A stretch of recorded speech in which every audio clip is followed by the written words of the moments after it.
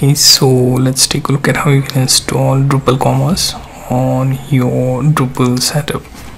So this is the Drupal commerce module.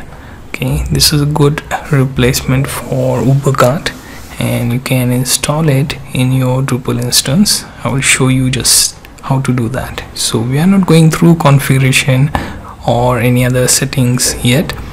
We will go through plain install of Drupal commerce. We will take a look at how to add products how to display it etc in other parts. Okay so first thing type in Drupal and then your website address where you want to navigate to your Drupal admin. Okay. Right next thing would be to go to extend tab of your Drupal menu okay? Now by default we don't have any commerce module so we will have to click on this install new module.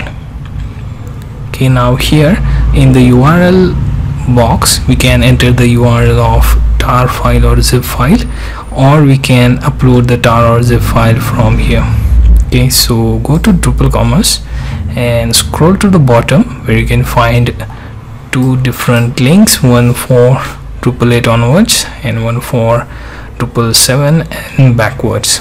Okay now in Drupal 8 and onwards you will find this zip or tar file link. Simply copy link address then install from URL where you have to paste that okay now then you will click on this install button. Okay now it should begin the installation. Once it finds this particular file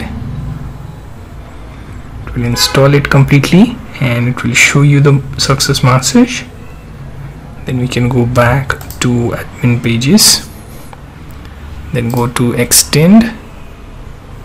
And here if we type in commerce module then you can find multiple commerce modules installed from that particular module.